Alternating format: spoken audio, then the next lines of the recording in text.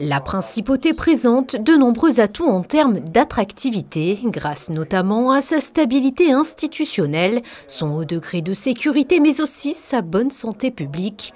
Créé en 2011 par le gouvernement princier, le Conseil stratégique pour l'attractivité a pour mission de proposer des outils d'analyse et de prospective afin de contribuer aux réflexions concernant le développement économique de la principauté. L'attractivité, c'est attirer des résidents, des nouveaux résidents qui nous font profiter de leur capacité d'innover, de financer, d'apporter de nouvelles idées. C'est attirer aussi les touristes dans une destination qui est d'exception.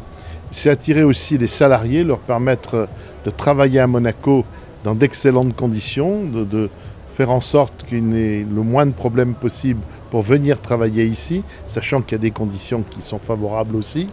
Et puis, c'est savoir attirer des entreprises, des investisseurs. Lors de ce nouveau conseil stratégique pour l'attractivité, une nouvelle organisation interministérielle a été évoquée. Ça concerne l'ensemble des départements ministériels de la principauté. Donc c'est un sujet interministériel.